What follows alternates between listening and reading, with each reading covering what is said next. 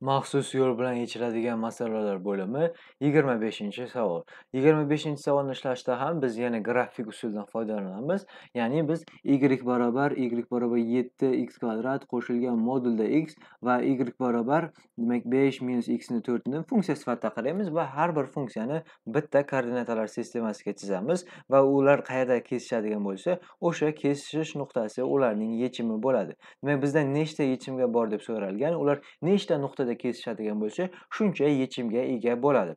Demak, e'tibor beramiz, biz bu grafiklarni chizishimiz uchun y barobar a ning ikkinchisi ko'rinishdagi funksiya, ya'ni ko'rsatkichli funksiyani biz bilishimiz kerak. Bu yerda nima? a har doim 0 dan katta bo'ladi va 0 dan katta bo'lishi mumkin bo'lgan holatda uni ham ikkita qiymati bo'ladi. Ya'ni a bu 0 bir 1 oraliqda, ya'ni 1 dan kichik bo'lgan oraliqda va a demak 1 dan katta bo'lgan holatni ko'ramiz va 1 ga teng bo'lmasligi kerak. Chunki 1 ning har qanday darajasi 1, y teng 1 bo'lib qoladi. Demak, a teng emas bir bo'lishi kerak va demak a 0 u 1 oraliqda bo'lishi mumkin va 1 dan katta bo'lishi mumkin. Demak, funksiya grafiga ko'ramiz. Agarda a e, 0 dan 0 dan katta, lekin 1 dan kichik bo'ladigan bo'lsa, funksiya kamayuvchi ko'rinishda bo'ladi, mana bunaqa ko'rinishda bo'ladi. Lekin e, 1 dan katta bo'ladigan bo'lsa, funksiya o'suvchi, demak, mana bunaqa ko'rinishda bo'ladi. Demak, mana bu ham uncha biroz o'xshamay qoldi. Sal bundayroq bo'lishi kerak. Kamayuvchi holatda mana bunday bo'lishi kerak. Mana demak bu a 0 bir 1 oraliqda, 0 bir 1 oraliqda, bu a katta 1 oraliq bo'lyapti.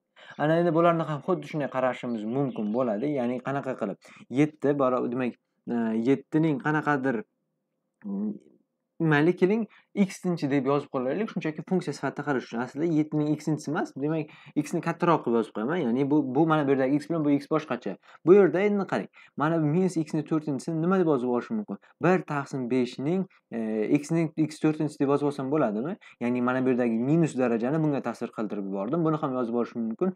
1 taqsim 5 ning pastdan yoza qolaylik. Chizma chizaman hozirgi bir 1 taqsim 5 ning nechinchi darajasi?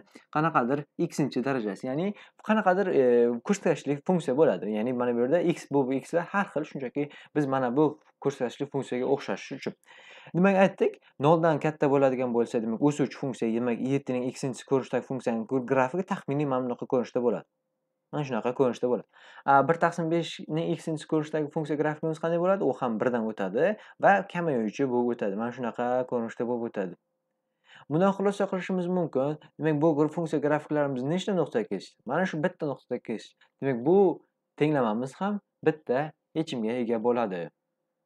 Ana endi faqatgina mana bu yerda yana takrorlab o'taman. Mana bu 7 ning x-inchisi bilan bu mana bu yerdagi xlar boshqa-boshqa. Shunchaki mana bu ko'rsatishli funksiya ko'rinishga keladi baribir umuman olganda. Demak, umumiy grafik ko'rsatishli funksiyani grafigi bo'lishini nazarda tutish uchun aytib o'tdim.